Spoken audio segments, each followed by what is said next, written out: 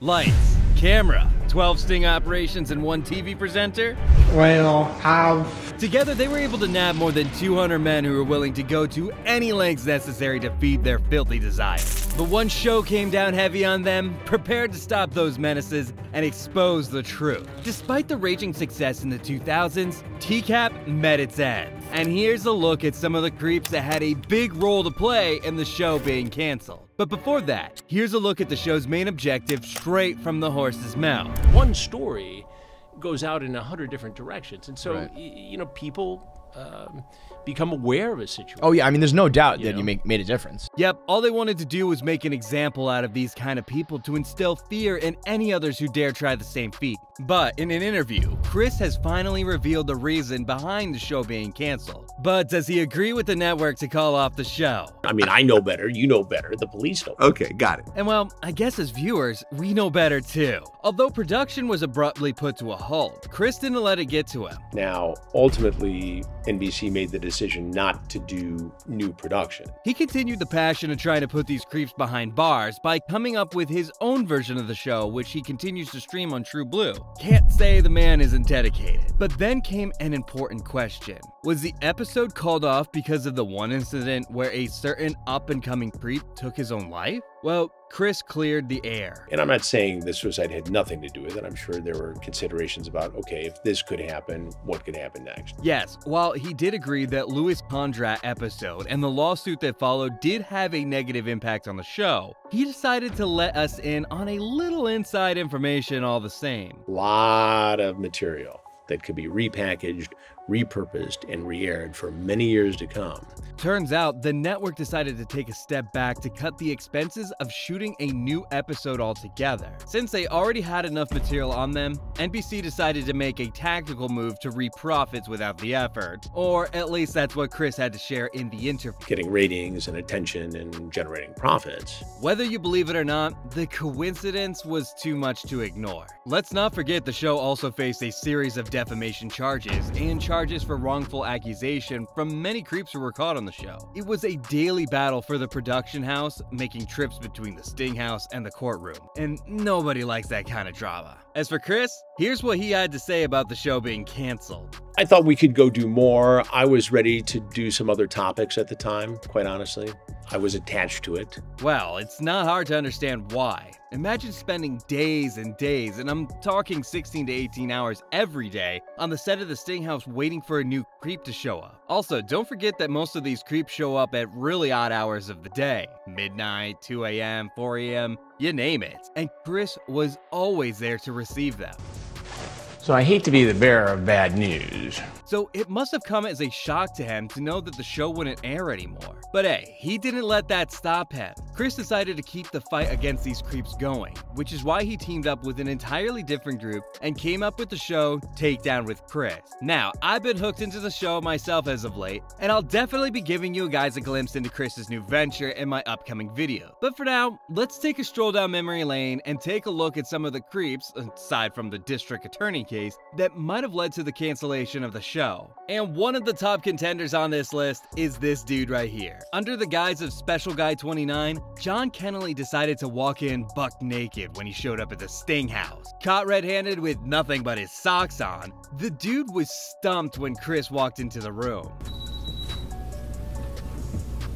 I guess you could say he knocked his socks off. Anyway, bad joke aside, after being lured into a chat by one of the setups, Kennelly was caught trying to have questionable relations with an unsuspecting boy. The chats that led him to come to the trap were truly horrifying to see. Despite knowing the age difference between him and the setup, who he believed was at least half of his age, Kennelly made his way to the house under surveillance, not knowing what was about to happen. Now, if his chats and intentions weren't dirty enough, what happened when he actually showed up was even more telling. During the chat exchange, there seemed to have transpired a joke of sorts, but Kennelly was so blinded by his urges that he took the request in a literal sense. Turns out the setup made a rather bizarre request to Kennelly by asking to show up in just his birthday suit. If you thought that was absurd, Kennelly's reaction was disturbing. Kennelly openly shared his interest and was willing to show up in his natural form without a single fabric on his body just to please the setup, with no idea that each and every conversation was being recorded. Kennelly arrived at the house and headed straight to the garage. Wondering why? Well, it was so that he could go forward with his plan to make his special appearance. Now, the crew had no idea that the dude would actually go through with the plan. And as he started to drop one piece of garment on the floor after another, everyone was left peering their eyes out of the scene that unfolded before him. None of them actually believed that Kennelly would show up the way he did. We really didn't think he was going to do it. Uh, this was our second investigation, and while we'd seen some surprising things, you know, who's going to walk into a stranger's house naked? Well, What's more, the dude seemed to be carrying a huge bag with various items that he had brought to woo the setup. And once he made his grand entry, he placed the bag on the kitchen counter and took a seat by the counter. Kennelly then patiently proceeded to wait for his date in silence as Chris decided to cut in. Now, any normal person would be startled by the sound of boots walking in on him, but Kennelly had so many things on his mind that he didn't even notice Chris pulling up behind him.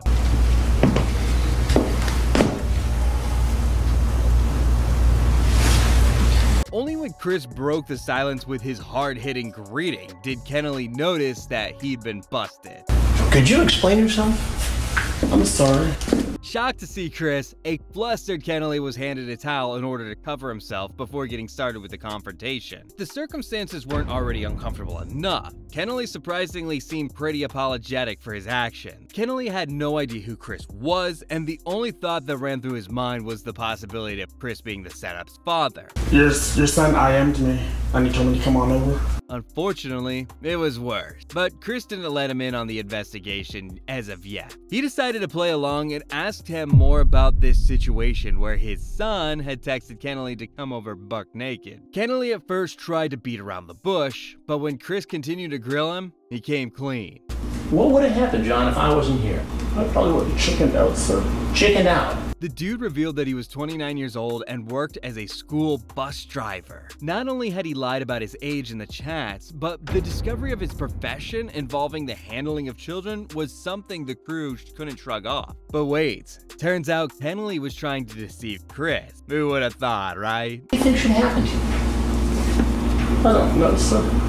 Sometime later, it was found out that Kennelly wasn't a driver, but a teacher. This made the situation even worse. But wait, there were more surprises in store because in truth, the dude was actually unemployed. Gosh, my head is spinning. But the drama is far from being over. Turns out Kennelly didn't learn a lesson from the first thing. Couldn't believe it, but it was the same screen name, same everything.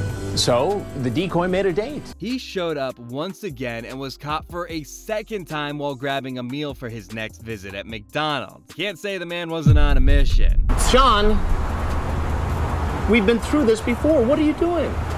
But how could his boss contribute to the cancellation of the show? Turns out the crew came under heavy fire for allegedly luring Kennelly. The production was blamed for putting thoughts into people's heads when they wouldn't have initially gone through with it. Now, you can probably see how flawed this whole accusation is, but well, it is what it is. But the real trouble came when the crew started landing some prominent figures in the chat room, like this dude right here. This guy was a prominent member of society.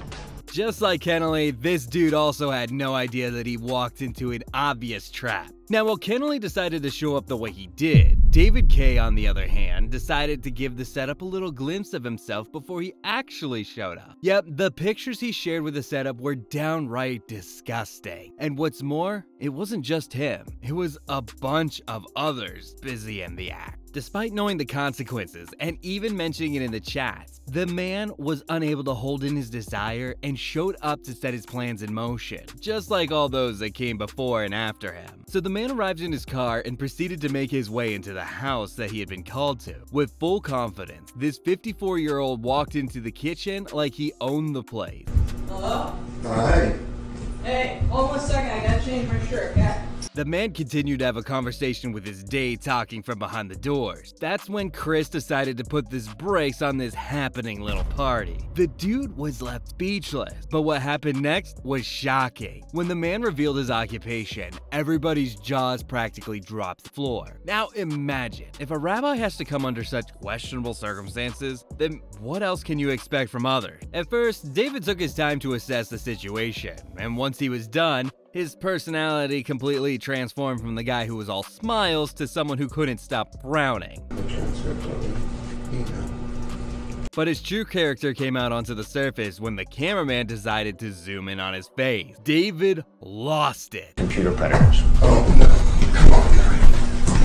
Yep, this episode was an eye opener in more ways than one. For one, the crew were shocked to find a so called holy man make his way to the house with absolutely no hesitation. And secondly, they understood the risk of handling creeps head on. See, handling guys like David can be unpredictable. While yes, the cops were waiting right outside the door, anything could realistically happen during the confrontation. Who knows, they could even pull a knife on Chris or try to fight him like David did. Don't, don't, you don't want, you don't want to touch anybody. You don't want it. Additionally, the show came under serious scrutiny after going for someone as powerful as David. More than worrying about their rabbi, many people jumped in to defend the man and throw the show under the bus. Well, sadly, that's the nature of the beast, right? But then came this man, who not only blew things out of proportion with not only showing up completely exposed, but also with some pretty bizarre fantasies. So this dude was about as Kennelly and the rabbi put together. Double the trouble. He decided to walk in like Kennelly, and as soon as he sensed that the setup was interested in more, he dropped some nasty pictures of himself like the rabbi. The decoy says, Come on in, I'm just going to do something real quick and I'll come out. And she comes into the room where I'm at. But wait, this dude was worse. He wanted to go through with the act in all the rooms and even proposed a plan to rope in her other friend. If that wasn't enough, the dude also threw in a random request of including her pet cat in the act. I wish I was kidding. Marvin, you're naked. Yeah, I wouldn't have gone all the way. I wasn't. You, were- you went all the way when you took your clothes off, just about. But the story doesn't end there. Once he was busted, when Chris asked him what would have happened if the setup had been in the house, Marvin admitted that he would have gone through with his plan of going all the way. When Chris tried to drill some sense into him, the dude simply brushed off all the allegation and claimed that he was just messing around. Well, of course, he was caught and handed over to the cops. But this sting not only exposed nasty intentions with the setup, but also with Animal. Remember when I said this guy was double trouble? But the crew got in double trouble themselves, once again with the so called luring argument. Really? I mean, just because you saw a dude into Gats, are you really gonna try it now? Well, that's what some people believe, that the show was glorifying this kind of behavior. Now, I'm not buying into that nonsense, but well, the sayers always have a say. And now, coming to the episode we started with, the one that eventually put the nail in TCAP's coffin. prosecutor for more than 20 years knocks on the door.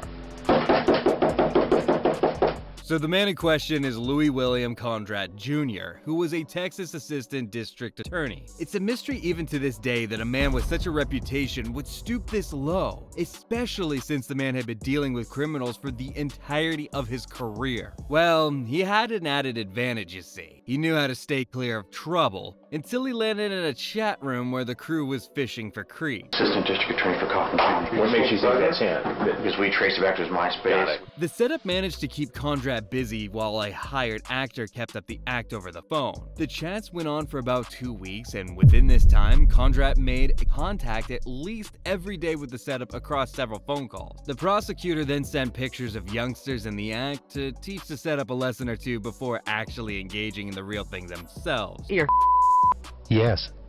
it looks huge. When the setup asked Conradt to meet, the dude got a whiff of doubt and bailed out. What followed next was totally unpredictable. At first, Conradt went off the radar, even going so far as to delete his online account. However, by the time Conradt had bailed, the police were already ready with an arrest warrant for him. It was time for them to head out and make the arrest. The cops surrounded Conradt's place and were making a move to get inside when Conradt tried to ignore their attempt.